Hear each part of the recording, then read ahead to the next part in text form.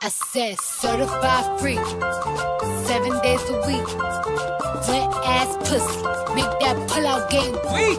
Gobble me, swallow me, drip down inside of me. Yeah. Jump out for you, let it get inside of me. I tell them where to put it, never tell them where I'm about to be. I run down on them before I have a nigga running me. Talk your shit, bite your lip. Ask for a call while you ride that dick. Beat it up, nigga, catch a charge. Extra large and extra hard. Put this pussy right in your face. Swipe your nose like a credit card. Now get your boots and your coat for this wet ass pussy. He bought a phone just for pictures of this wet ass pussy. I'm talking guap, guap, guap. That's some wet ass pussy. Macaroni in a pot. That's some wet ass pussy, huh? Welcome back. It's me, Reona. And today I'm going to be teaching you, you know, how to use Raycast because that's still a thing and it's still going to be a thing until something else replaces it. Woo! Um, so, this is what I do. I open my model, preferably YYB because it's all I've been using. You go to this little mask thingy, reverse everything, and then you just select the face. Just the face, right? Make sure you have these two little option thingies selected. And then just drag along and select, right? And then make sure to have the plugin called Face Forward because that's just the defining thing that makes all of this work.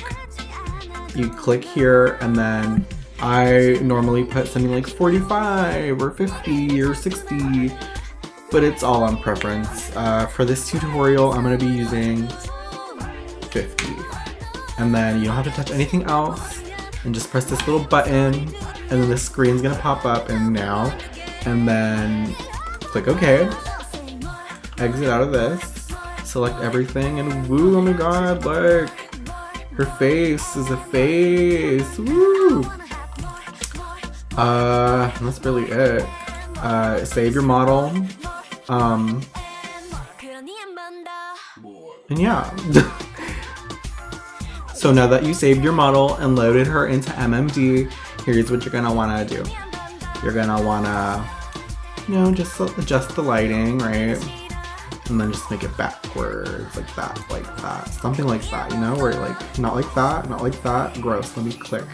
Um, something where something like this, you know, like a little bit on her head, a little bit not on her head. Hit register, and then you're gonna want to set up Raycast.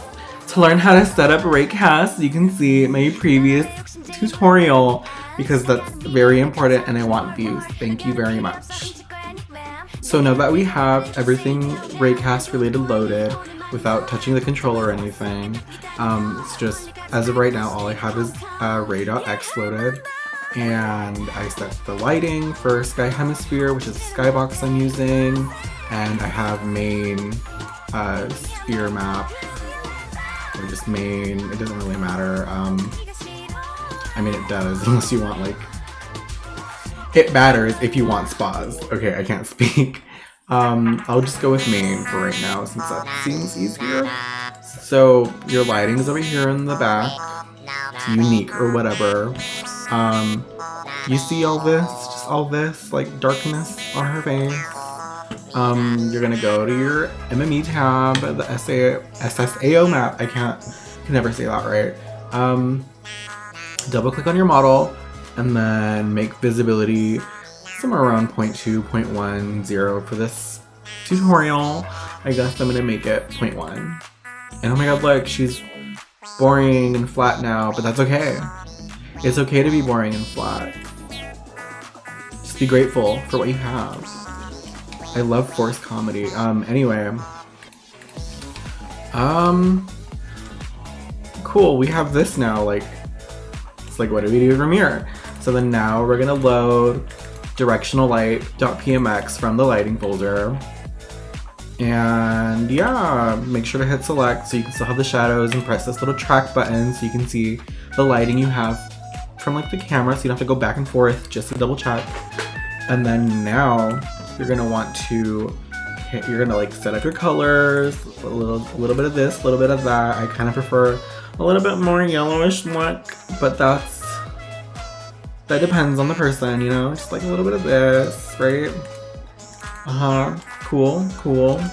And then now you go to your MME effect, ta- effect tab. Oh my god, I can't speak. Ugh. Go to the light map tab, double click on your directional light, and make it ambient with shadow. And- oh my god, like where'd she go? Like where'd the lighting go? Like I just had it. Like it, Reona, it's not working. Um, it's working. You just gotta like move this down a little and boom. Oh my god, look, there's shadows, but what's that? Staircases. Oh my god, stairway to heaven. but no, um, I'm gonna be including a skybox black dome thing that will fix this problem. If I can find it, ah.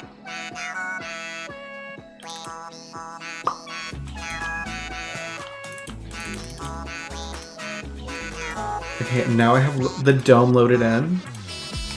And see how that kind of instantly fixed that, except for this? Um, see what we're gonna do is we're gonna go back to the directional light. And just move it to the left, and boom. Boom, perfect lighting, she's fixed. Then you're gonna wanna go to hardness and bring her up a bit so she can be a little bit more like sturdy or whatever. And I'm like, oh my god, we're almost there. We're almost at 2MK or whatever. Make sure to hit register on everything. And you're gonna wanna make the intensity a little bit so you can still see the shadows, but it's not overbearingly bright on the back side. Right, right, right, right, right, right. You with me? With me? So now you're gonna wanna go to environment diff- diffusion light. I don't know what that means, but lower it down a bit, you know, just lower it down a bit, like to there if you want. Um, maybe a little less. Uh, let's register. And then you're gonna want to load in your controller. Yeah. You know, simple stuff here. But if you want like that like bright backlighting type shit, oh I cursed, sorry. um, just move this up, you know, just, just a little light. Give her a little like we need sunlight. Like boom, like wow. Oh my god, like oh my god, so bright in the back, but the front it looks good. But you know, like register. Okay, maybe we just need to add a little bit of like shadow because twice shadow. Oh my god, it's such a good song. Anyway, um, give a little shadow, a little character. And then this is a basic like setup. You can adjust the contrast. You can adjust the saturation, give it a little bit of color, or no color at all. Gamma, you know she's a staple. Gamma minus is a staple uh, line for me. It's like just perfect. It's perfect. Give it a little bit of temperature because they gotta get hot in here. So we turn it up. Yeah. Um, we turning it up. that's really Point out them really up to preference at this point. Uh, I like 'em. I don't normally have like a set style thingy that I do because I just try to adjust whatever needs to be adjusted for a scene to work. Can increase intensity here, make it maybe a little more blue. So it can be like a whitish color. And then you can just like load a stage or something. Like anything goes at this point, to be honest. Oh my god, materials. I forgot about materials. Oh my god, that's so important. Um, let me set this up first. Oh my god, that looks so weird. But we'll get there. Everything can be fixed with a little bit of bokeh. Never, ever. What's that? What's the word for it? Never ever underestimate. Underestimate. Never underestimate uh, what bokeh can do.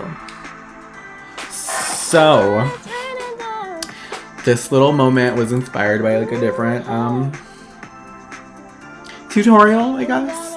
Um, oh no, never mind. Hold on. Subset extract.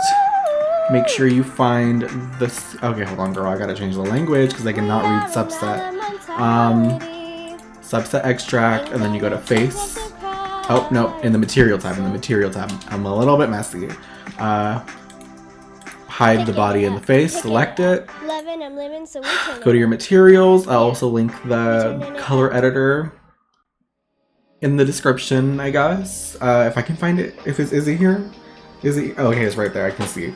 And then you're gonna want to go to skincolor.fx, and then you're gonna want to look for the the white part of the eyes, like the the the eyeball. Yeah, eyeball, eyeball, eyeball.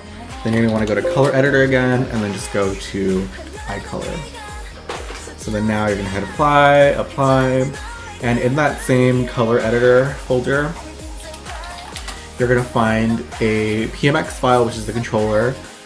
And so now you're just gonna, this first row of like sliders is just for the skin.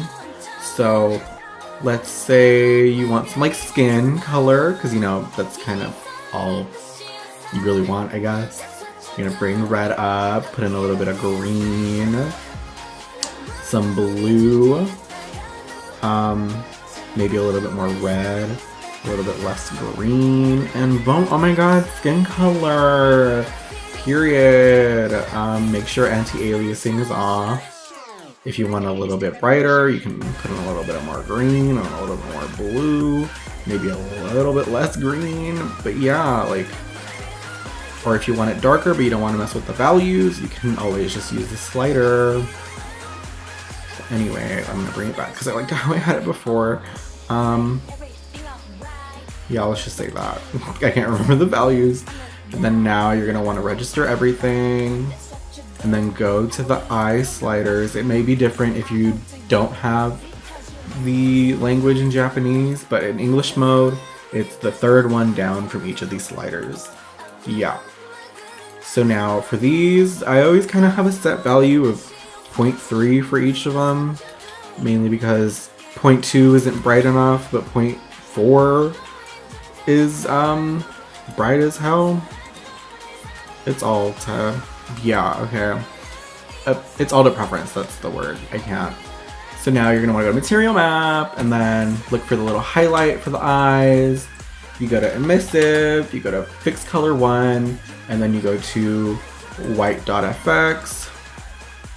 And then, I mean, you can like make your own little material for the eye, so they make like reflective or whatever.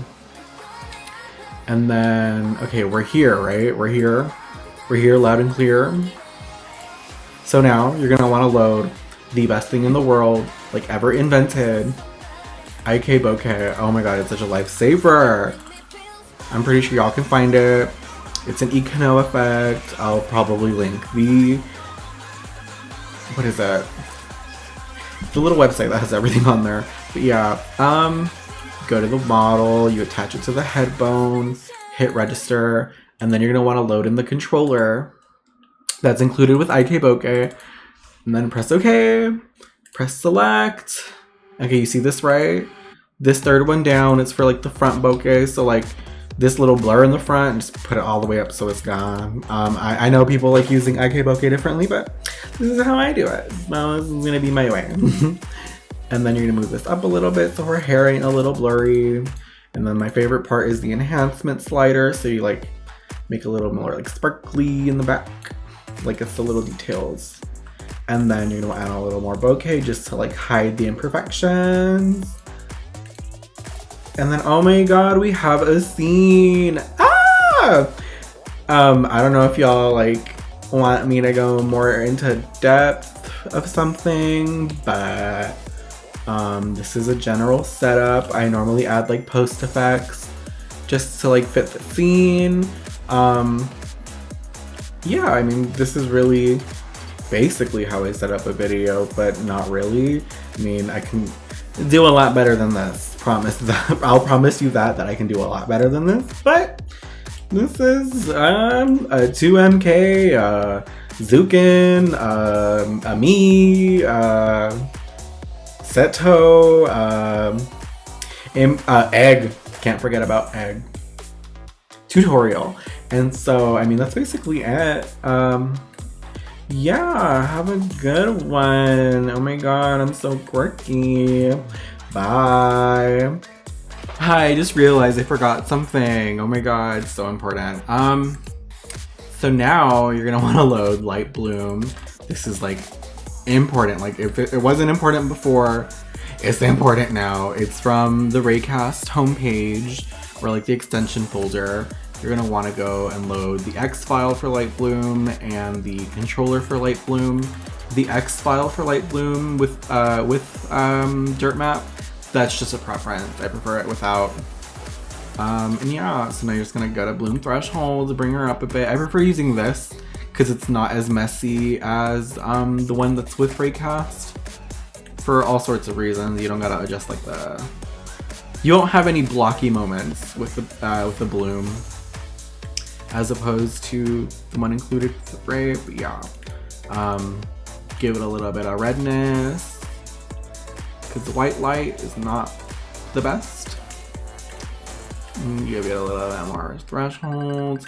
Don't give it too much because like look, you, you see like her like face it gets all blurry and stuff and then it's like not attractive it's like not sharp you know and then yeah just do that give it a little twirl make sure to put it uh, below IK bokeh so in like this order so it like I don't know mixes better or something but for the most part here we are. Like oh my god like Ray oh my god period.